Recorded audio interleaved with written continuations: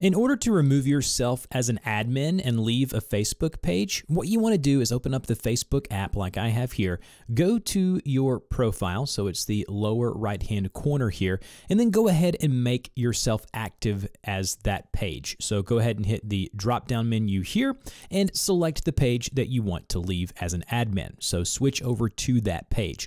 Once you're here, you want to tap on the bottom right again to open up the settings, and then go ahead and select settings and privacy. And then once you're here, you want to go into settings.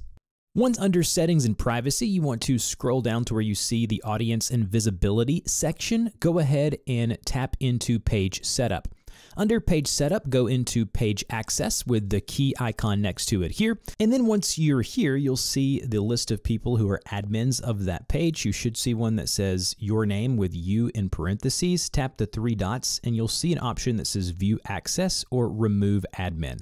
Uh, go ahead and tap on remove admin and that's it. You've removed yourself from that page. You no longer are an admin. Now, if you are the only one that is an admin to a page, like what you see me here, you will actually have to go and delete the Facebook page itself.